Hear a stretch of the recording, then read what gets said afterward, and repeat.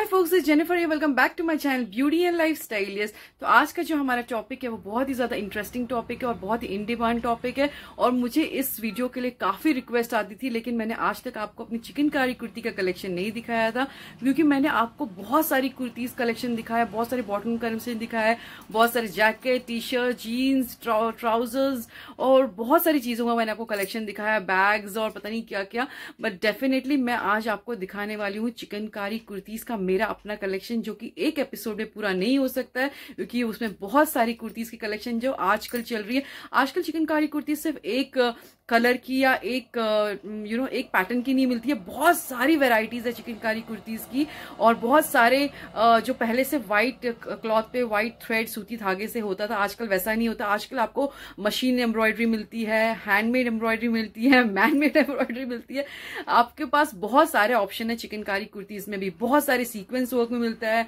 Different colour multi colour colourful same cloth के ऊपर same dark colour thread के ऊपर बहुत सारी चीज़ें मिलती है। तो डेफिनेटली मैं आपको हर एपिसोड में थोड़ा थोड़ा डिफरेंट डिफरेंट टाइप की कुर्तीज दिखाने की कोशिश करूँगी।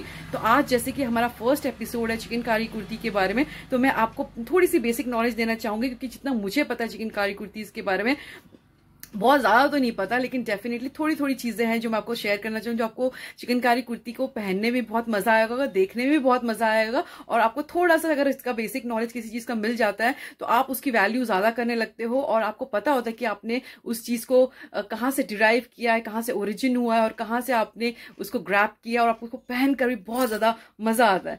तो let's start for the first time chikan kurtis on my episode और मैं धीरे धीरे आपको सब कुछ बताती रहूँगी, इसके बाद बारे में भी। यस तो हम स्टार्ट करते हैं सबसे पहले सबसे पहले व्हाइट चिकनकारी कुर्ती के बारे में, जो कि प्लेन होती है एकदम से, और जो चिकनकारी कुर्ती का जो काम होता है, वो होता है इसका व्हाइट मलमल के कुर्ते पे व्हाइट सूती धागे से ये काम किया जाता था।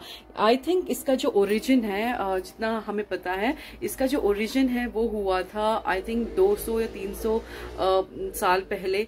और ये कहा जाता है कि ये हमारी जो बहुत ही फेवरेट ताजमहल की रानी नूर जहाँ के टाइम पे इंडिया आया था और ये सेंट्रल एशिया से ये कढ़ाई लाई गई थी, जो अपने साथ नूर जहाँ जी है, जो अपने साथ एक मलमल के कपड़े पे एक एम्ब्रॉयडरी लेकर आई थी, जो कि बहुत ही सुंदर और बहुत ही खूबसूरत थी देखने के लिए और बहुत ही फ्रजाइल बहुत ही नाजुक सी थी।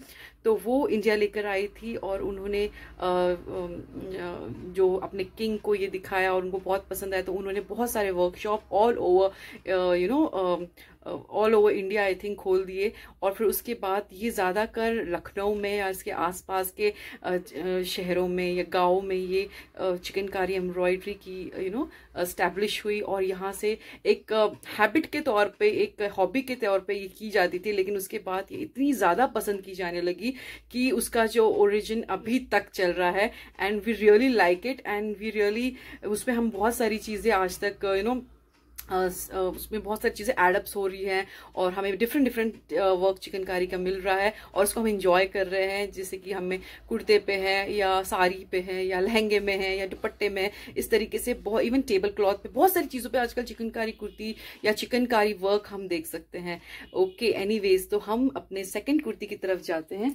ये फ़र्स्ट जो कुर्ती सबसे पहले ऐसी ही आती है जो व्हाइट कुर्ते पे होती है और एक व्हाइट कलर के सूती धागे से इसका जो है वो एम्ब्रॉयडरी की जाती है।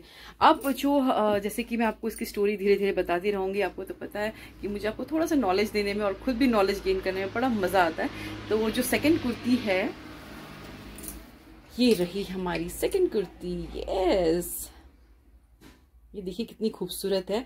तो ये जो है, आप देख सकते हो, ये अनारकली कुर्ती है, ये वाइट अनारकली कुर्ती है। ये नेट पे की हुई एम्ब्रॉयडरी है जो बहुत ही ज़्यादा खूबसूरत है, आप देख सकते हो।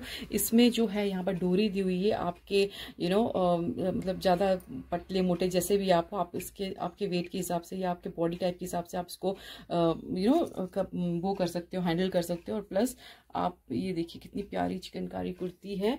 तो इस तरीके से है ये।